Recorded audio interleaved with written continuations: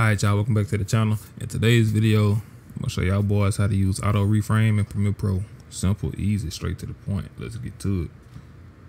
What's a flipper? Alright bro, so now that we inside this thing, let's go and get a crack a lacking. First thing you wanna do, know what I'm saying? You got Premiere Pro open, you gotta get your resolution right. What you doing? You doing the IG square? You doing the Facebook story? I don't know what you trying to do, post on TikTok? Well, choose that, you know what I'm saying? Then go find your video, know what I'm saying? Go get your video. Come back to me once you got your video. Alright, so this is the video I got right here. It's a video from a clip of a music video I shot a while back. And let's say I want to make this an Instagram reel type, know what I'm saying, video. You see the black boss? Not a fan of it. What I want to do, I want to make this full screen.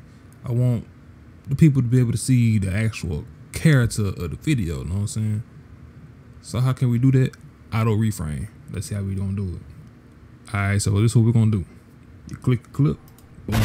Then go to effects. Then you wanna search up auto reframe. Look at it right there, looking out pretty. See that right there? Double click it.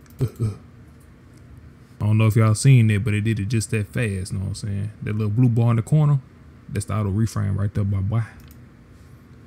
So you see it zoomed in a little bit, but it actually did more than zoom in a little bit.